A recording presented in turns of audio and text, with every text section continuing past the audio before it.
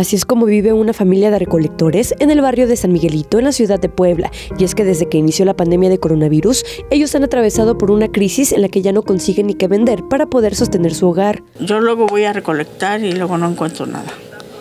Pero como conocemos personas que así luego nos regalan que ropa, que zapatos, pues ya de ahí nos vamos ayudando. Pues ahorita vivo acá con mi hijo porque pues yo no tengo, o sea, dónde vivir con mi niña. Sí, sí, ha sido muy dura porque Luego, este, por ejemplo, le digo que luego no, no tenemos internet y eso, pues no ha mandado todas las tareas. Doña Socorro vive en una pequeña casa de bloque y lámina, con dos de sus hijos, Abraham de 32 años de edad que es discapacitado y una menor de edad que apenas si puede tomar sus clases en línea debido a que no cuentan con los medios necesarios. A la familia se suma la nuera de Doña Socorro, quien tiene cuatro hijos menores de edad, entre ellos un bebé de tan solo seis meses. Todos se dedican a la recolección de PET, cartón, muebles viejos y electrodomésticos. Si bien no mal encontramos, aunque sea un poco de papel pesado, yo por mi discapacidad ando en mi bici.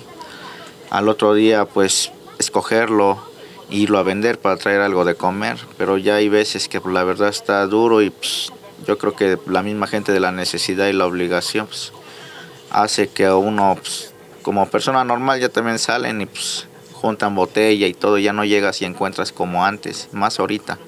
O sea, yo creo que todos este, estamos buscando para llevar algo a, a casa, pero pues a veces ya no. Yo por mi discapacidad, pues a veces este, he buscado trabajo, pero también por la edad ya no dan, o por la discapacidad. Mi discapacidad es musco, muscoesquelética y este, la verdad es del pie, es de la cadera, secuelas de cadera, empecé desde chico y así me la he pasado.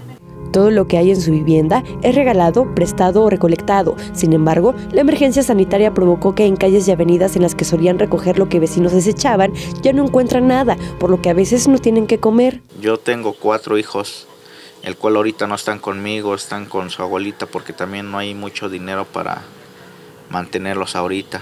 Pues si tienen así que pues, algo de ropa, zapatos, despensa, con lo que gusten apoyarnos también, nosotros este recibimos de todo. Por si fuera poco, hace nueve días, un miembro de su familia falleció a consecuencia de un paro cardiorrespiratorio, lo que juntó las deudas. Ellos ya no tienen cómo continuar haciendo frente a la pandemia de coronavirus, por lo que desean que por medio de la audiencia puedan recibir algún tipo de ayuda, ya sea en despensa o monetaria. Si está en sus manos poder ayudarlos, no lo piense dos veces y contáctelos a los números 2223 693173 o al 2212 675000. Con imágenes de Roberto Reyes, Ruby del Razo, Noti 13.